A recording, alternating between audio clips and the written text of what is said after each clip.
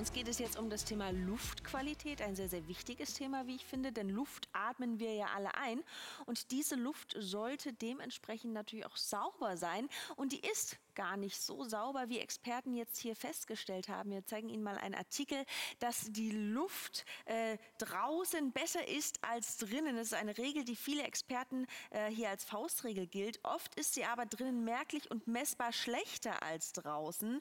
Laut EU-Kommissionen kostet schlechte Luft in Gebäuden der EU-Bürger schätzungsweise mehr als zwei Millionen gesunde Lebensjahre. Das klingt natürlich erschreckend. Wir wollen Ihnen jetzt aber nicht viel Angst machen. Wir wollen Sie an die Hand nehmen, mhm. wie Sie drinnen die Lebensqualität, die Luft verbessern. Und das machen kleine Geräte, die du uns mitgebracht hast. Ja, das ist so ein kleiner Aufpasser für Sie, der so ein bisschen auf Ihre Luft achtet. Weil vielleicht hatten Sie schon mal selber das Gefühl, oh, seitdem ich zum Beispiel das neue Bett habe mit den neuen Matratzen, mhm. schlafe ich schlechter und es ja, geht mir schlechter. Stimmt. Manchmal hat man so ein Gefühl, das kennen Sie bestimmt auch. Ne? Oder man ist vielleicht in eine andere Wohnung gezogen oder vielleicht auch am Arbeitsplatz, dass man dann sagt, ach, es geht mir irgendwie nicht so gut, wenn ich da haben. Ne? Man kann mhm. schwerer atmen, man fühlt sich so matt. Testen Sie doch einfach mal die Luftqualität. Mit diesem Gerät kann man die Luftqualität testen und man kann dann auch vorsorglich schon mal schauen, woher kommt das vielleicht? Denn hier werden drei Messergebnisse angezeigt durch das Gerät. Wir haben einmal dieses ähm, HCHO, das sind Formaldehyde. Und Formaldehyde, das ist etwas, das kommt sehr, sehr häufig vor. Man muss aber aufpassen, dass diese, dieses Maß an Formaldehyd keinen Überhand nimmt. Zum Beispiel Farben, Lacke, Klebstoffe ne? oder Baumaterialien, Möbel. Da ist überall oft mhm. Formaldehyd drin. Und da sollte man darauf achten, dass man halt da auf äh, Stoffe zurückgreift, auf Substanzen, die kein Formaldehyd haben.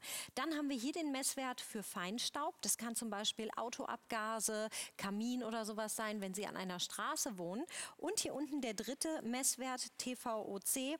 Das ist der Messwert für flüchtige organische Verbindungen. Mhm. Auch der ist ganz wichtig, dass der ähm, ja, quasi nicht existent ist oder nur gering existent ist, weil der kann auch, also könnte auch, dann gesundheitliche Folgen haben. Ja? Deshalb müssen Sie ein bisschen darauf achten.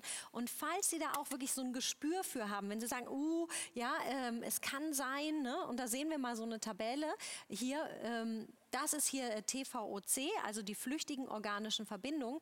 Wenn die leicht erhöht ist, ja, dann kann es schon zu Beeinträchtigungen des Wohlbefindens kommen, Reizungen.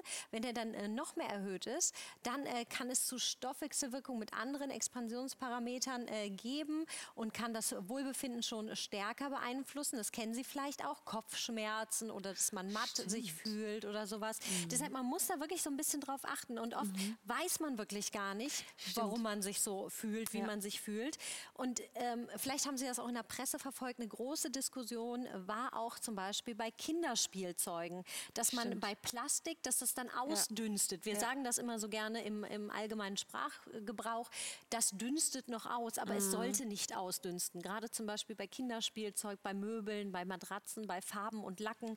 Deshalb bitte achten Sie da drauf. Und das Gerät misst das sehr genau. Und wenn das dann auch überhöhte Werte sind, dann gibt das Gerät auch auch direkt ein akustisches Signal aus. Das ist eben was ganz, ganz Besonderes. Und jetzt für 56,44 Euro. Das ist natürlich ein Wahnsinnspreis. Jetzt zugreifen für Sie, für zu Hause. Der Dirk aus Jesberg hat bereits zugegriffen. Er schreibt, ich benutze das Teil zur Feinstaubmessung im Bereich meiner Holzvergaserheizung. Wenn man für die Beschichtung der Heizung kein Abgasgebläse für Qualm hat, wird man sich wundern, wie viel Feinstaub in der Luft ist oh. und entsprechende Maßnahmen dann auch ergreifen muss und kann.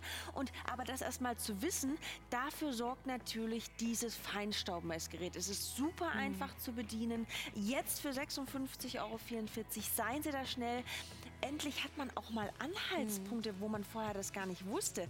Die Bestellnummer ist die NX1442 und die 569. Gehen Sie da ganz schnell in die Leitung hier für die saubere und frische Luftqualität.